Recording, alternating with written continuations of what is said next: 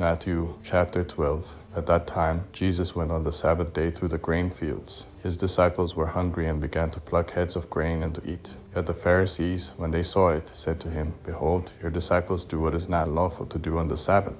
Yet he said to them, Haven't you read what David did when he was hungry, and those who were with him? How he entered into God's house and ate the showbread, which was not lawful for him to eat, nor for those who were with him, that only for the priests? Or have you not read in the law that on the Sabbath day the priests in the temple profane the Sabbath and are guiltless? That I tell you that one greater than the temple is here. But if you had known what this means, I desire mercy and not sacrifice, you wouldn't have condemned the guiltless. For the Son of Man is Lord of the Sabbath.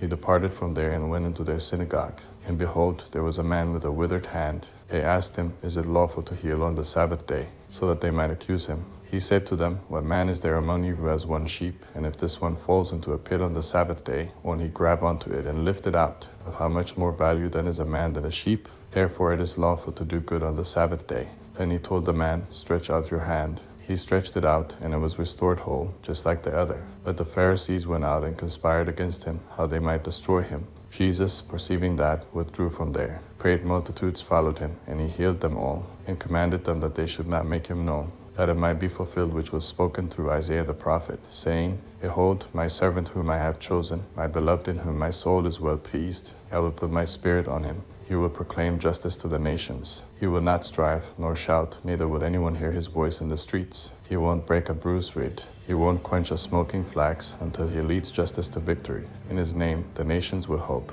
Then one possessed by a demon, blind and mute, was brought to him, and he healed him, so that the blind and mute man both spoke and saw. All the multitudes were amazed and said, Can this be the son of David? But when the Pharisees heard it, they said, This man does not cast out demons except by Beelzebul, the prince of the demons. Knowing their thoughts, Jesus said to them, Every kingdom divided against itself is brought to desolation, and every city or house divided against itself will not stand. If Satan casts out Satan, he is divided against himself. How then will his kingdom stand? If I by Beelzebul cast out demons, by whom do your children cast them out? Therefore they will be your judges. But if I by the Spirit of God cast out demons, then God's kingdom has come upon you. Or how can one enter into the house of the strong man and plunder his goods, unless he first bind the strong man?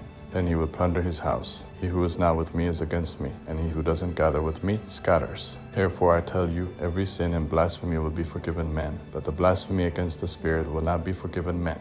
Whoever speaks a word against the Son of Man, it will be forgiven him. But whoever speaks against the Holy Spirit, it will not be forgiven him, either in this age or in that which is to come.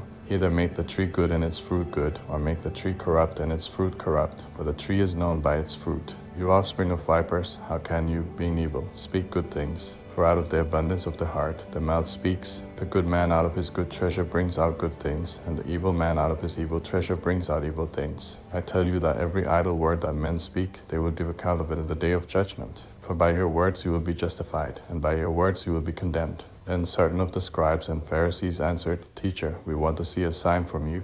But he answered them, An evil and adulterous generation seeks after a sign, and no sign will be given to it but the sign of Jonah the prophet. For as Jonah was three days and three nights in the belly of the huge fish, so will the Son of Man be three days and three nights in the heart of the earth. The men of Nineveh will stand up at the judgment with this generation and will condemn it, for they repented at the preaching of Jonah. And behold, someone greater than Jonah is here. The queen of the south will rise up at the judgment with this generation and will condemn it, for she came from the ends of the earth to hear the wisdom of Solomon. And behold, someone greater than Solomon is here. When an unclean spirit has gone out of a man, he passes through waterless places seeking rest and doesn't find it. Then he says, I will return into my house from which I came. And when he has come back, he finds it empty, swept, and put in order. Then he goes and takes with himself seven other spirits more evil than he is, and they enter in and dwell there. The last state of that man becomes worse than the first. Even so will it be also to this evil generation. While he was yet speaking to the multitudes, behold, his mother and his brothers stood outside, seeking to speak to him.